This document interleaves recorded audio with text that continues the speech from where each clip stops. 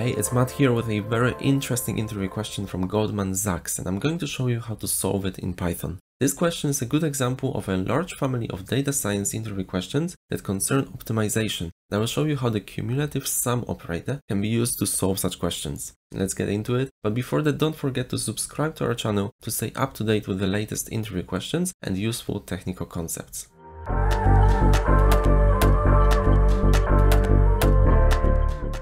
The title of this question is minimum number of platforms and it says that we are given a day worth of scheduled departure and arrival times of trains at one train station. It is further specified that one platform can only accommodate one train from the beginning of the minute it's scheduled to arrive until the end of the minute it's scheduled to depart. We are then being asked to find the minimum number of platforms necessary to accommodate the entire scheduled traffic. It is a hard question because it's not easy to figure out how to extract this minimum number of platforms from a train timetable, and this is further complicated by the fact that the data are spread across two different tables. The key problem is devising a solution that is not only correct, but also efficient and fast, and this is something that the use of cumulative sum can help us achieve. It's always good to start solving an interview question by understanding the provided data. I already mentioned that the data for this question are spread across two tables, but let's see what exactly is happening here. There are two very simple tables, each with only two columns. The first table represents train arrivals, and so we have the ID of each train and the time when it arrives at our station. Analogically, the second table represents train departures, and it has the ID of the train again and the time symbolizing the moment of departure.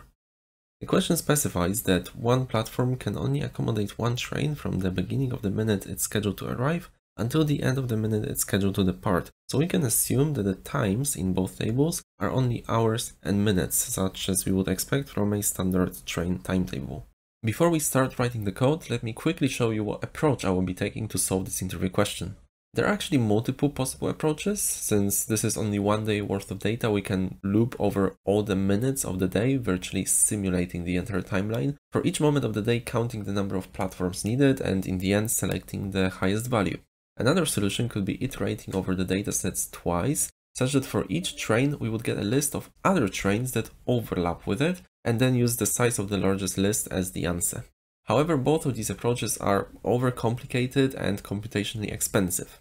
In this video, I will show you a much shorter and more efficient solution that can solve this and other similar optimization problems using the cumulative sum.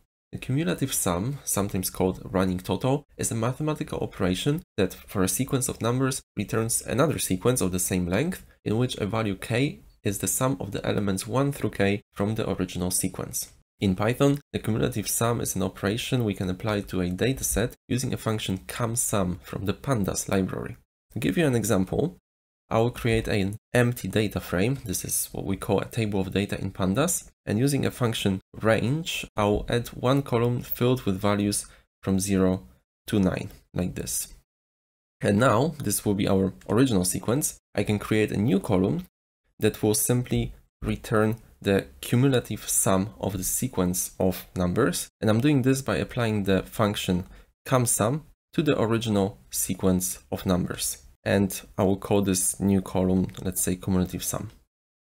And if I run this and if I show the entire table now, we can see that we have a new column filled with different values from what we had in the beginning. And this is actually the cumulative sum result. And what we see here in the first row, the number in both columns will always be the same because we have nothing before to, to add to the first number. Uh, but then it becomes interesting because here we have 1, that's because 0 plus 1 is equal 1. Here we have 3 because 0 plus 1 plus 2 is 3. Here we have 6, the same because 0 plus 1 plus 2 plus 3 is 6 and so on because here we have 10 because 6 plus 4 is 10. Here we have 15 because 10 plus 5 is 15 and so on until the end.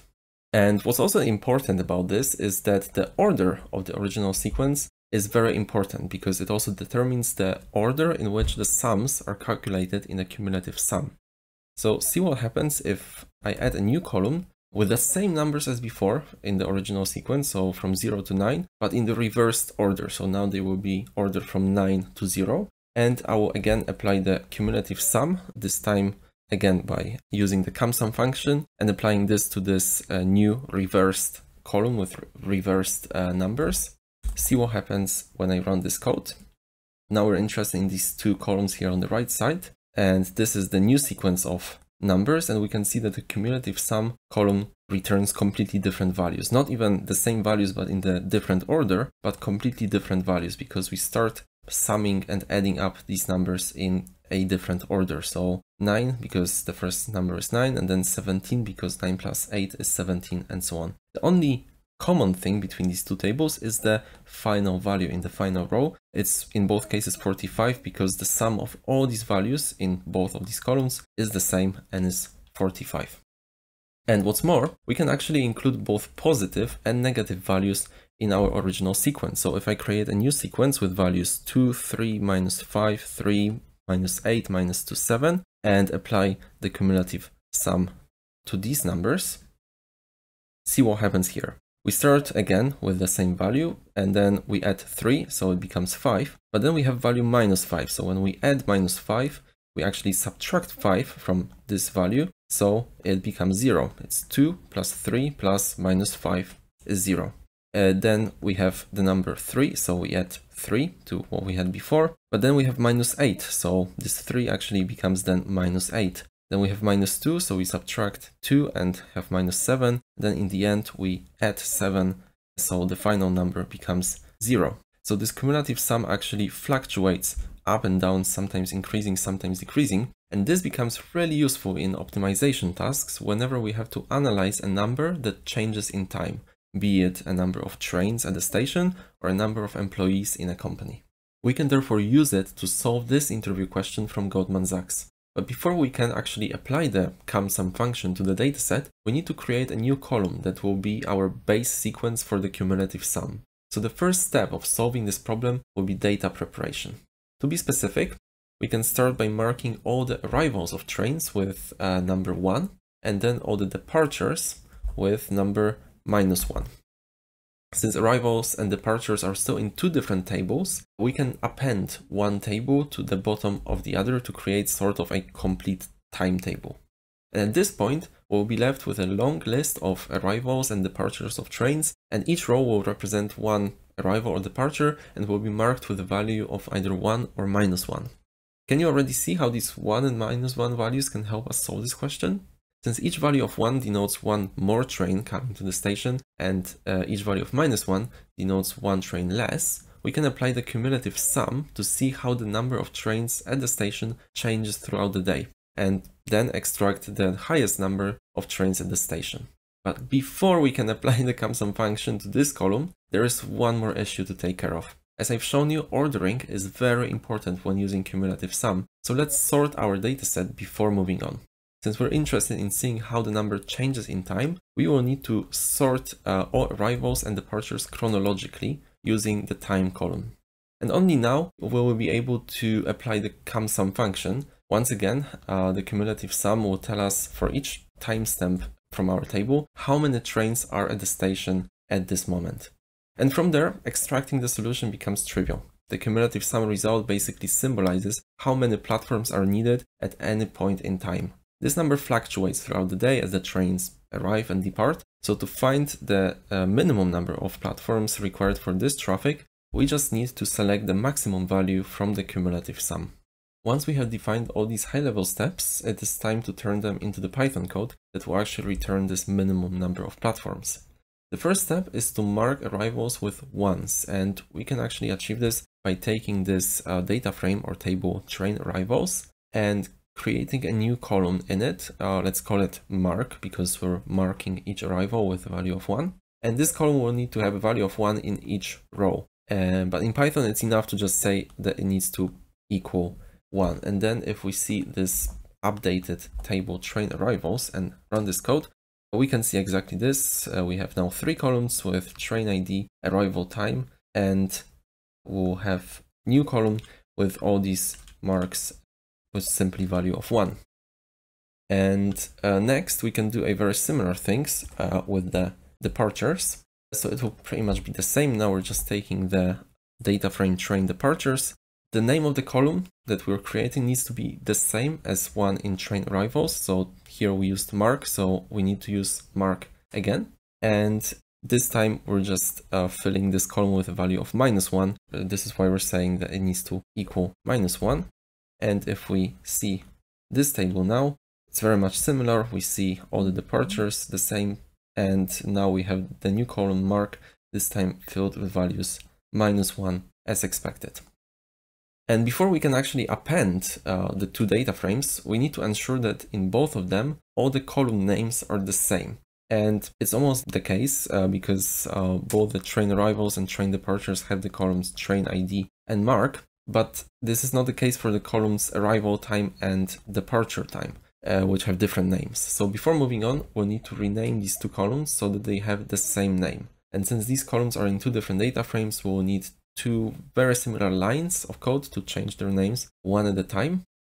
To do this, we can apply pandas rename function like this, inside of which we need to specify that renaming specifically columns, and then we can use the key value syntax that you may know from pandas dictionaries, basically saying that the current name arrival time in this table train arrivals should change its name to, let's say, simply time. And when we run this code, we can see this is actually the train arrivals table because we have these marks uh, with value 1 and this uh, middle column has changed its name to just time. And then we can use pretty much the same line of code uh, to also do the same thing for train departures. We just need to update these table names. So now we're dealing with the table train departures, again using the rename function saying that we're applying this to columns. And we also need to update the name of the column. So now it will say departure time and we need to change it to be time. And if we run this code, we can see train departures table and the name of the column has changed. And now we are ready to append one table to another. And this may sound complicated, but it's actually a simple operation of taking all the rows from one dataset and adding them at the bottom of another dataset. In Python, we can simply do it using an append function like this and specifying the first data frame outside of the function and the second data frame inside as a parameter. So it's saying that we need to append the train departures at the bottom of train arrivals. And since this will result in all the arrivals and departures being in a single data frame, let's call this data frame, for example, timetable. And if we run it, we can see that we have a long data frame. First of all, with all the arrivals, because these are marked with values 1, and then with all the departures, because these are uh, marked with the value minus 1. Right now in our data frame timetable, we first have all the arrivals and only then all the departures. So if we apply the cumulative sum to the mark column right now, it will first simply count all the arriving trains and then gradually go back to zero. And this is not what we want. So the next step is to sort all the events chronologically. And we can do this using the pandas sort values function. This is the function sort values, and we can apply it to this data frame timetable that we have created. And uh, then in the parameters of this function, we need to say that we want to order these values using the time column. So we order by time column. And we also want to say that we order them in the ascending order. And in case of the time, it's equivalent to saying from oldest to latest times or simply chronologically. And if we run this code, we can see that now uh, we have all these events um, ordered. Uh, so we have both arrivals and departures mixed and uh, it goes from 8 a.m. then throughout the entire timeline all the way to the evening at uh, quarter past 8. And here's one more important thing to mention, because uh, there may be cases when one train arrives and one train departs at the same time. It happens, for example, here at 10 past 8, when the train with ID 5 arrives at the station, but at the same time, uh, the train with ID 2 departs from the station. So when this happens, we need to make sure that these events are also ordered correctly because otherwise the event, uh, the result may not be the same, may be different. So in this case, uh, we actually see the hint of what to do in the question because it says that one platform can only accommodate one train from the beginning of the minute it's scheduled to arrive until the end of the minute it's scheduled to depart. So this means that we can imagine the arriving train coming to the station, for example, at 10 past 8 and 0 seconds, and then the departing train leaving the station at 10 past 8 and 59 seconds. So therefore, the rows with arriving trains should always be before the rows with departing trains in such situations when the time is the same. So to reflect this, we could modify the sort values function and saying that we're not only ordering the values by time, but by time and mark.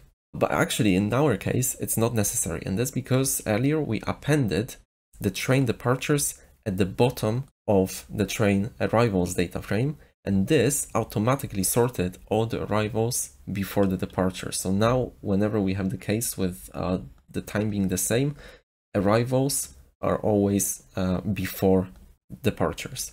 And as you can see, uh, this is why the order in which we append the data frames, so that we append the train departures at the bottom of train arrivals, for example, can sometimes be important as well. And moving on with our solution, now we can actually use our main weapon and apply the cumulative sum to the mark column. And we have already seen how to do this, so we can achieve this by creating a new column um, in the timetable or data frame. And let's call it uh, n trains for number of trains. And as you saw before we can do this by applying the cumsum function to the column. We have our values our original sequence. In our case it's the column called mark in the table or data frame timetable. And if we see this entire timetable now we can see that we have a new column with basically the results of the cumulative sum. And this sum increases whenever trains arrive. So for example, from the morning, we can see that it goes up to five trains and then some trains start departing. So uh, this number of trains goes back to zero and after 8.25 uh, a.m. it's back to zero. And then only at um, in the afternoon, the trains start arriving again. So uh, this number of trains increases with each arrival and then some trains are departing. So this number decreases again. And at 3 p.m. Uh, we can see again some trains arriving. So this number increases. Then one train uh, departs. So the number decreases again. But right away, one minute later, a train uh, arrives. So this number increases again. And it keeps fluctuating like this uh, all the way throughout the day. And since the, according to the question, one platform can accommodate only one train, the minimum number of platforms necessary to handle this train traffic will be equal to the highest number of trains uh, being at the station at the same time, or in other words, to the maximum value in this n trains number of trains column. So to extract this, we can simply use a max function uh, like this. So we're simply saying that uh, we want to extract the maximum value from this column n trains from the data frame timetable. And if we run it, it will simply result no longer in a table, but in a single value of five, because in a day, there is at most five trains uh, being at the station at the same time. And this means that to handle this traffic, we need at least five platforms. And this is the correct solution to this interview question.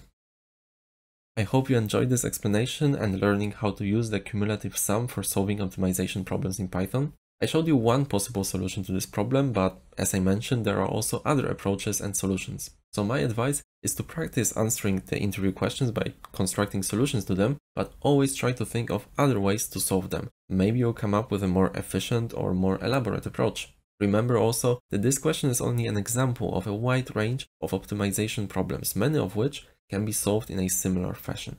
That's it from me today. If you'd like to see more videos like this one, check out our channel and the playlist with many more data science interview questions. Also, make sure to subscribe to this channel to stay up to date when we publish new content. Thanks everyone.